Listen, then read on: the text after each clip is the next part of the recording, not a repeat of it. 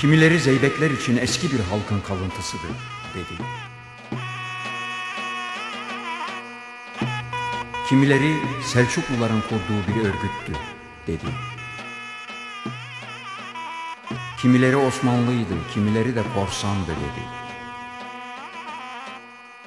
Kendilerine sorarsan, bu dağların sahibi kim? Emmi. Yiğit kime derler? Sözünde durana. İnsan bu dünyaya niçin gelir? Ölmek için.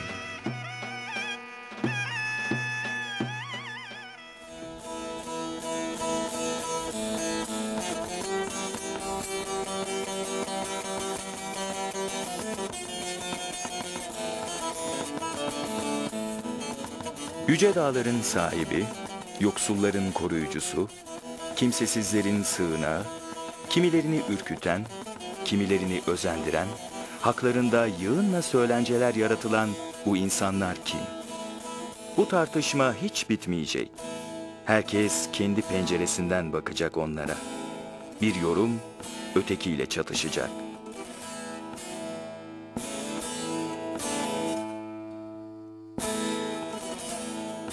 Belki de dağlara sormak lazım onları. Gizli geçitlere, saklı vadilere. Ulu ağaçlara sormalı belki. Sırlarını saklayan sık ormanlara, yırtıcı kuşlara. Alınlarının ateşini serinlettikleri gözelere, pınarlara.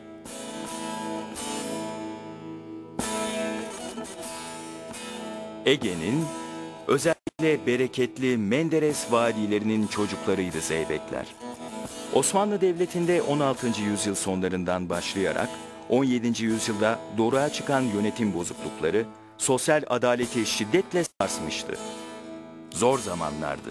O dönemin resmi kayıtlarına eşkıya diye geçtiler.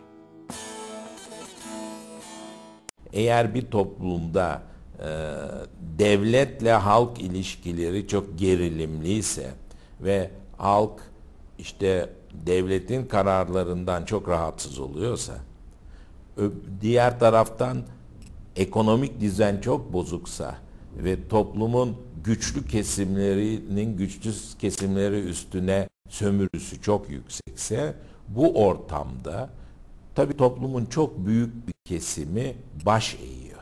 Ama bunların içinden birkaçı baş eğmiyor ve bir dağa çıkıyor, bir direniş örgütlüyor, silah kullanıyor, etrafında çeteler, aveneler kuruyor ve birden e, halkın ümidi haline geliyor. Aslında sırf yasalar açısından bakarsanız suç işliyor. Ama o bir suç olmaktan çıkıyor. O toplumun ümidi ve bir romantik bir olay haline geliyor.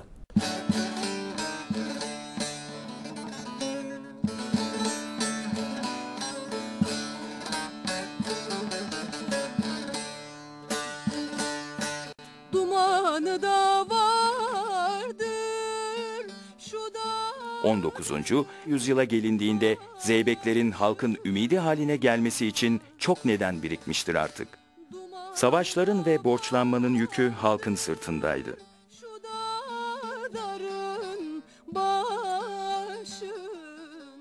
Vergi ödememek, dayak ve işkence demekti.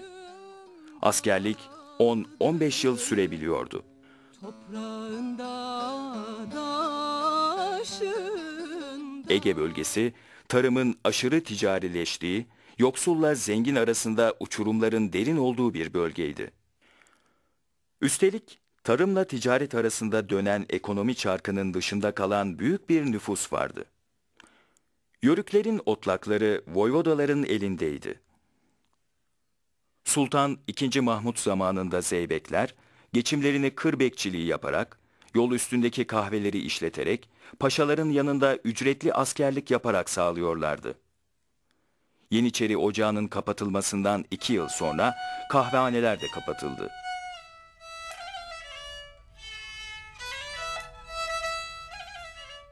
Sayıları belki binleri aşan eli silahlı zeybek açıkta kaldı. Bütün bu etkenler birleştiğinde çeteciliğin potansiyel insan gücü oluşmuştu. Ünlü Türk atasözü bir gerçekliği anlatıyordu. Kul bunalmış, dağa çıkıyordu. Halk gerçekten kahramanları seçer. Elbette bir tavuk hırsızı hiçbir zaman Köroğlu ya da bir Çakırcalı gibi kahraman ilan edilmemiştir. Dağlarda çok çete grubu vardı. Ama halk zeybeklerle eşkıyaları ayırıyor ve onlara çalık akıcı diyordu. Çalık akıcılar bugünün gaspçıları, adi soyguncuları gibiydi. Yoksul halkın malına, ırzına göz diken adamlardı. Zeybekse zenginden alıp yoksula verendi. Doğru düzgün adam demekti. Mertlik ve yiğitlikti. Irza dokunmayan, öksüzün yetimin hakkını koruyandı. Evliya Çelebi seyahatnamesinde fesli, baldırı çıplak, pala bıçaklı, levendan, Cezayir tarzı sıkma yelek giyen Batı Anadolu yiğitlerinden bahsederek zeybek giyimine ilişkin bilgiler verir.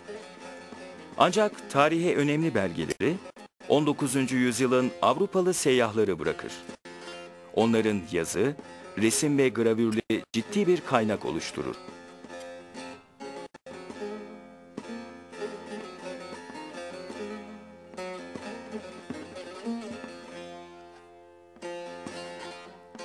İlk zeybek gravürünü Major Kepel yayınlar. Kepel'in gravürüne konu olan Atçalı Kel Mehmet, 1829'da Osmanlı Devleti'nin adalet sistemine isyan ederek Aydın'ı ele geçiren ve bir yıl boyunca zeybekleriyle birlikte yöneten bir efedir. Kepel, Atçalı mükemmel, ciddi ve adil bir insan olarak bahseder. Atçalı efeler içinde özel bir örnektir. Çünkü Zeybekler adil bir hayat özlemiyle isyan etmişler ama Cumhuriyete kadar bir sistem kurma girişiminde bulunmamışlardır.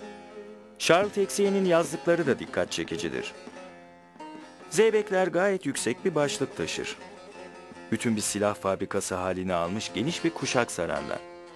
Bu kuşağın arasında tabancalar, hançerler, yatağanlar olduğu gibi çubukla maşa da vardır. Amerika'dan İzmir'e gelen Hacı Simon'un zeybek kıyafetiyle çektirdiği fotoğraf tüm ihtişamıyla zeybekleri resmetmektedir.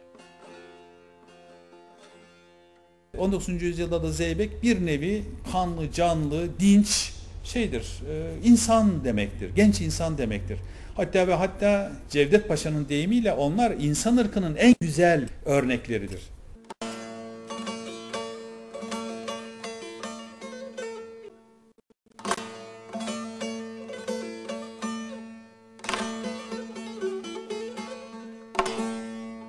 Ve devlet gerektiği zaman onların bu savaşçı özelliklerinden sonuna kadar ifade ediyor.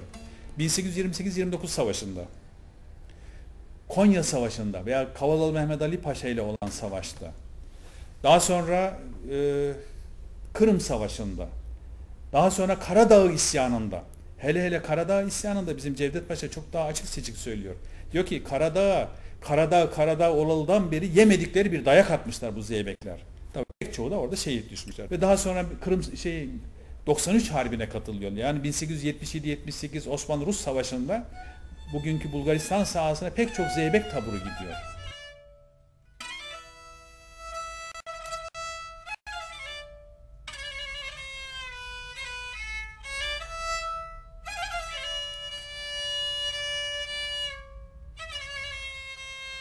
Dağ olmadan zeybek olmaz.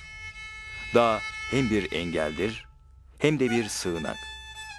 Özgür insanlar ülkesi ve kural dışı yaşamanın yeridir. Zeybekler avuçlarının içi gibi biliyorlardı. Nerede bir dehliz var, nerede gizli bir sığınak. Yıldız ışığında dahi seçerlerdi namlu pırıltısını. Birbirlerini ayak seslerinden tanırlardı. Bir dağdan bir dağa geçip kısa zamanda izlerini kaybettirirlerdi. Bir gün Baba Dağ'da, bir gün Bergama'nın düzünde, bir bakmışsın beş parmakta.